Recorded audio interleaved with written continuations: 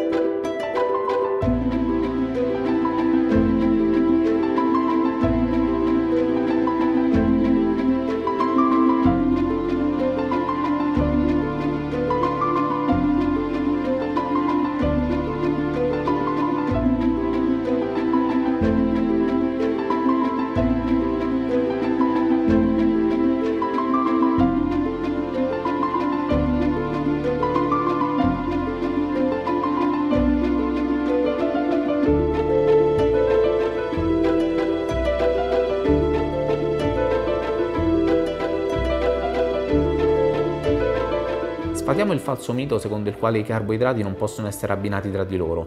Le patate con la pasta possiamo abbinarle tranquillamente, anche perché le patate ricche in amilosio fanno sì che l'assorbimento degli zuccheri venga regolato e distribuito nel processo digestivo aumentando i tempi di digestione quindi tempi più lunghi, assorbimento di zucchero non tutto insieme ma in piccoli pacchetti che fanno sì che lo stesso non venga trasformato in grasso e vada a costituire depositi adiposi. Quindi un ottimo piatto ben bilanciato e un ottimo abbinamento tra uno zucchero a rapido assorbimento, quello della pasta, e uno zucchero a lento assorbimento come quello delle patate.